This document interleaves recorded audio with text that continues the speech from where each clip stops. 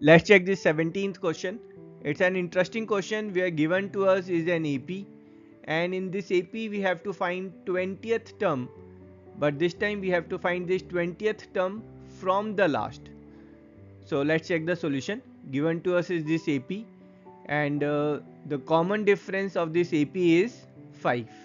So if the last term is 253 then the second last term that will be 5 less that is 248 third last term that will be 5 less more so that is 243 so what about if we'll write the same AP but this time in reverse order?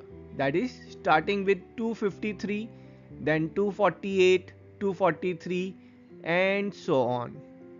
Now this uh, series return in reverse is also an AP but this time the common difference is not 5 but it's a reducing AP so common difference is minus 5 and for this AP your first term is 253 common difference is minus 5 and we have to find the nth term.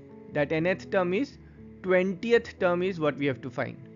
And of course we'll use our formula. That is Tn is a plus n minus 1 d where n is 20 so t20 is a plus. A is your 253 n is 20 and d is minus 5 solving it we'll get t20 as 253 minus 95 or 158 so this 20th term of this ap is what is 20th term from the last of our original ap and thus the 20th term from the last is 158 and that's our answer.